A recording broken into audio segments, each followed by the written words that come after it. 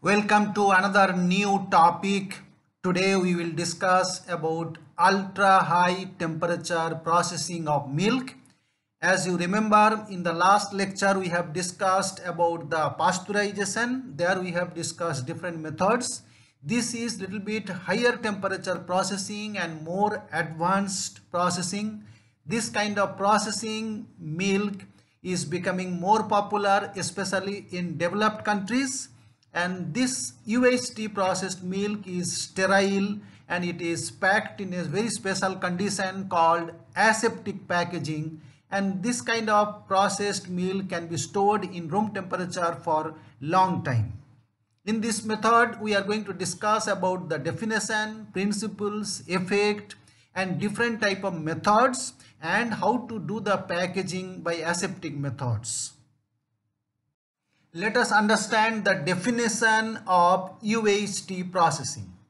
UHT milk can be defined as a product obtained by heating milk in a continuous flow to a temperature in excess of 135 degrees Celsius for not less than 1 second and immediately packaging in sterile packages under aseptic conditions.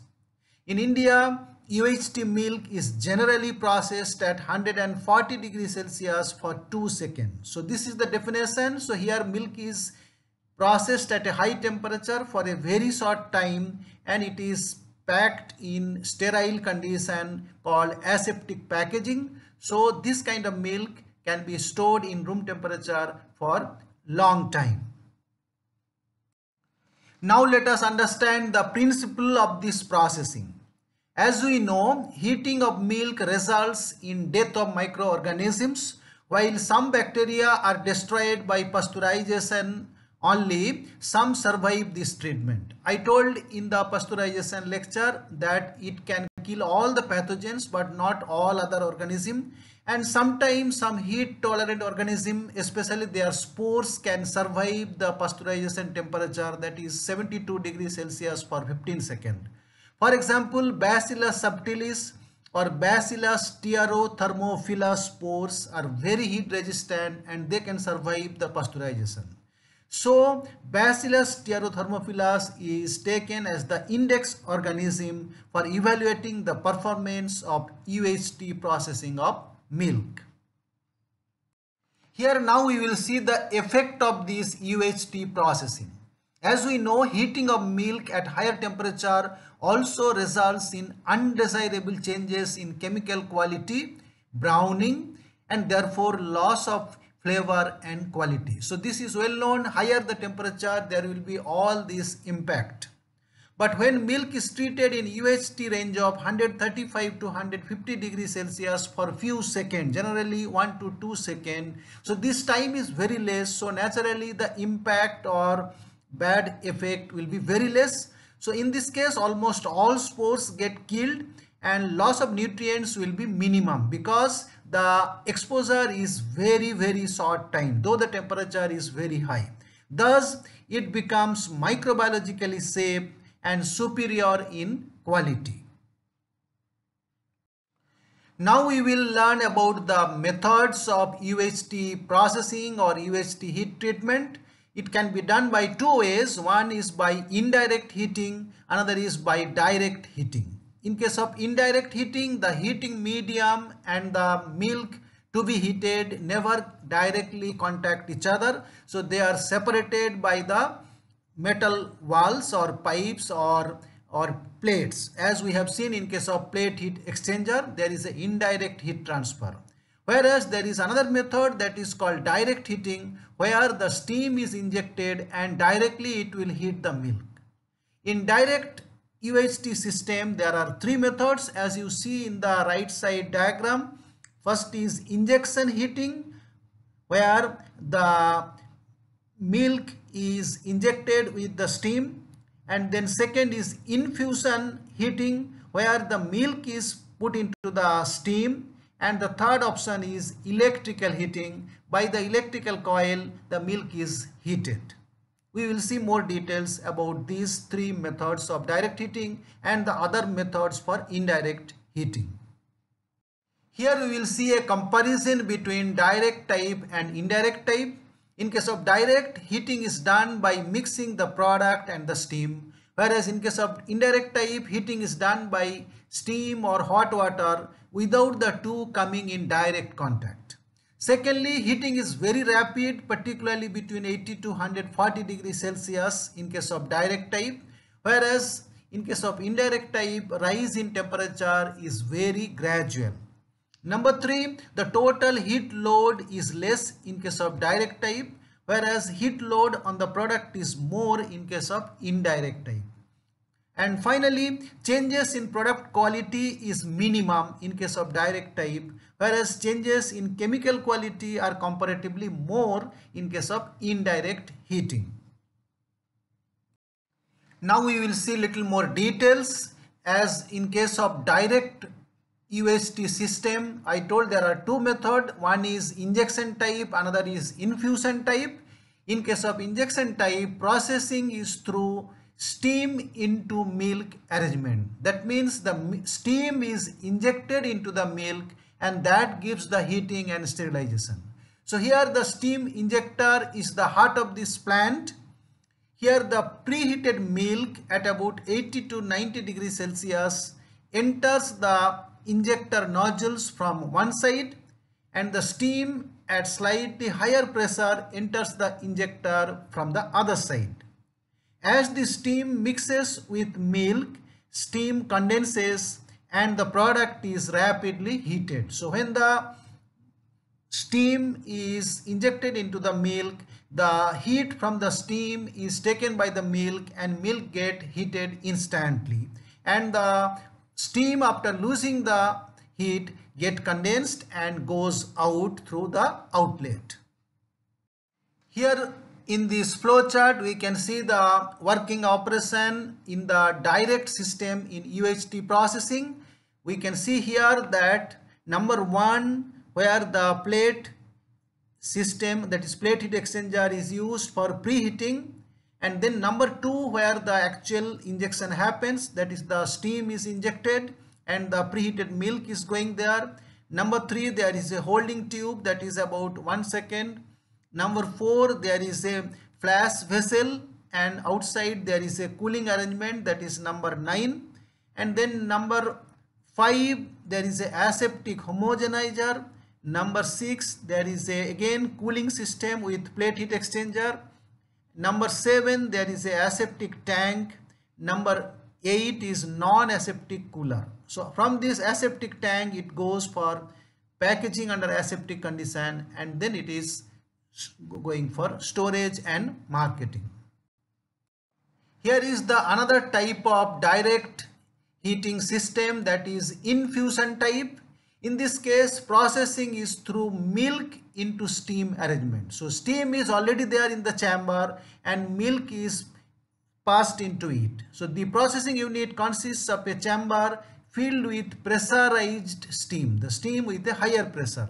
Here the milk enters the chamber from the top and after getting exposed to the steam it get heated and then it gets sterilized and then it goes out through the outlet. Now we will briefly discuss about the indirect UHT system. So here two kind of things our system is used. One is plate heat exchanger which we have discussed thoroughly while talking about HTST pasteurization system and the another system is tubular heat exchanger. Here there will be one tube inside another or sometime even three tube that is also called as concentric tube. So there can be single tube or multiple tube. Multiple means at least three tubes will be there or more. And sometime the single tube there is double uh, one inside the other. And another system is scraped surface in which there is a continuous separation of the layer of milk after heating. So we are going to discuss all this little bit in more details. So under the indirect heating system in UHT milk processing, first is the plate heat exchanger which we have already learned in HTST system. So this resembles plate heat exchanger of HTST plants. Several rectangular stainless steel plates with corrugations are arranged in sequence. These plates are then mechanically tightened to hold together. All this we have discussed earlier and there are corrugations on the plates which induce turbulence and therefore result in high heat transfer and this corrugation gives a very extra surface area that also helps in quick transfer of heat. This is another method of indirect heating system for UHT processing of milk. This is tubular heat exchanger. This can be two type as I told earlier. One is concentric tube, another is shell and tube type that is the multiple tubes. So in the figure below you can see the left side this is the concentric tube at the center through which the milk can pass so cold milk get heated and the outside there will be heating medium which gives the heating for the milk. Sometime it can be three tubes. In that case the central tube will have the milk and both inner and outer tube will have the heating medium to make the heating very fast.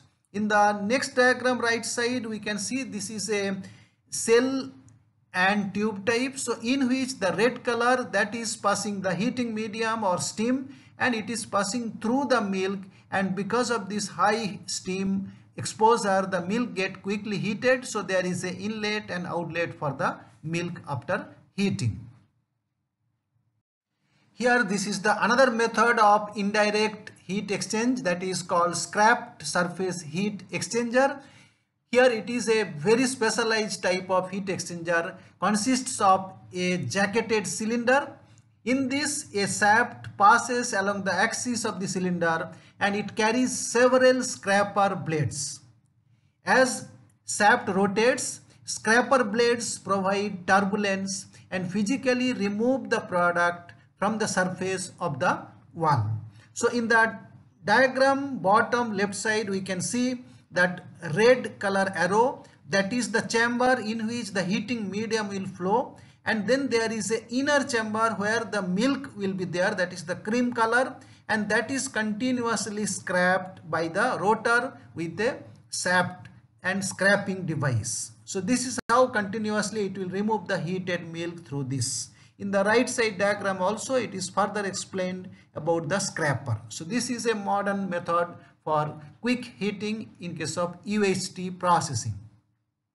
Here we can see the flow chart of operation in case of indirect UHT system. In this case, it is using the plate heat exchanger that is the number 3. So 1A and B there is the balance tank for milk and water. Then number 3 is the plate heat exchanger. Number 2 is the feeding pump for the milk.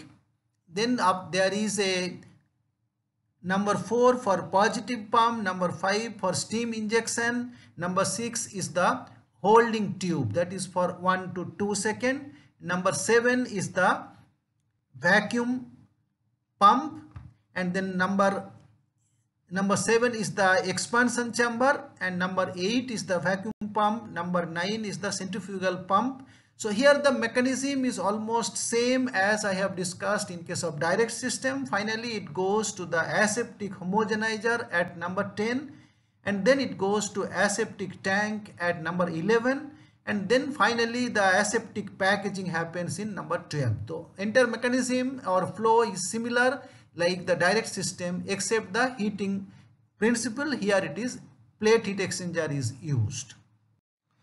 So we have already discussed about the UHT processing but along with that one important step is the aseptic packaging because the milk is already sterilized it has to be packed perfectly then only it will have the long shelf life and here the main thing is we have to avoid the post processing contamination.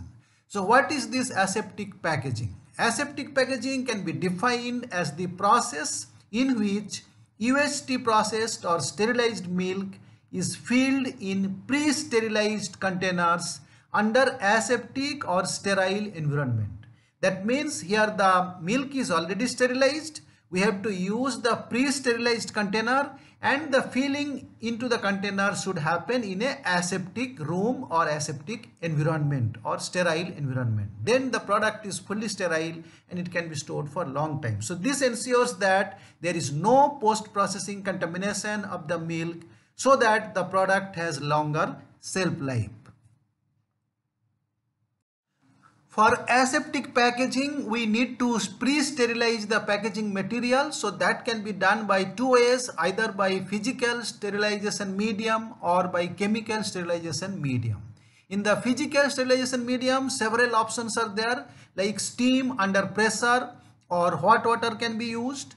Ionizing radiations that is gamma rays can be used or ultraviolet radiation UV ray that is also very good for surface sterilization that is of the packaging material or we can use dry heat that is the very high temperature of air or superheated steam. So these are the options for physical sterilization of the packaging material before it is used for filling and packaging of the UHT processed milk. So there is chemical sterilization medium also like we can use ethylene oxide or we can use hydrogen peroxide. Sometimes some other suitable chemical also can be used for the sterilization of the packaging material before it is used for packaging of UHT processed milk. So little bit details we will explain about the hydrogen peroxide. Here little bit more details about the chemical medium for sterilization. So most commonly hydrogen peroxide. So this is most popular sterilizing agent for aseptic packaging system in case of UHT milk. It is applied on the packaging surface by either dipping or spraying. So we can dip the packaging material in the hydrogen peroxide or we can spray the hydrogen peroxide inside the inner surface of the packaging material. The most successful combination of sterilizing medium being used in commercial aseptic packaging units are hydrogen peroxide plus heat supplied by radiant heat element. So that radioactive element that gives radiation and H2O2. This combination can be used or sometime hydrogen peroxide with UV radiation also can be used. These are the most common combination used commercially for sterilizing the packaging material.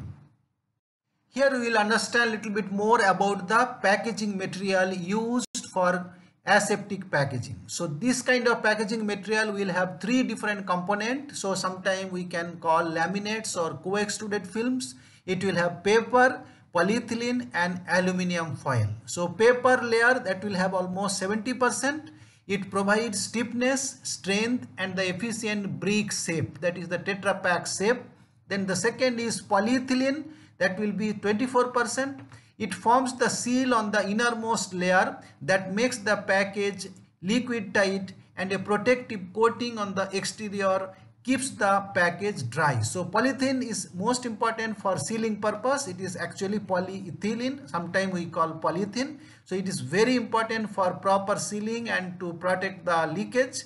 And the third layer is the aluminium or aluminium foil that is about 6%. It forms the perfect barrier. So it don't allow anything to pass through like any liquid or oxygen and eliminating the need for refrigeration and preventing spoilage without using chemical preservatives. So this prevents the entry of light and oxygen. So it prevents the oxidation.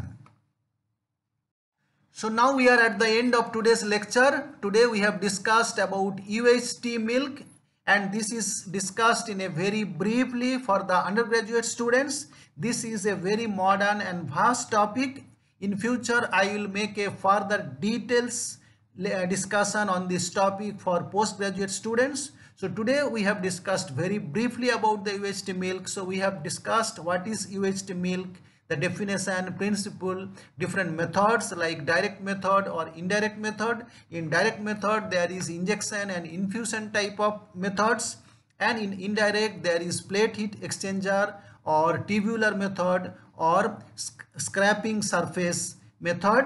And further we have discussed the importance of packaging because it is a sterilization process so it has to be packed perfectly under aseptic condition.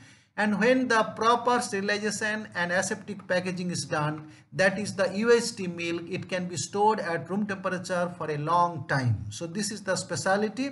So this is briefly about the UHT milk. And in future we will make a more details lecture on this topic. Thank you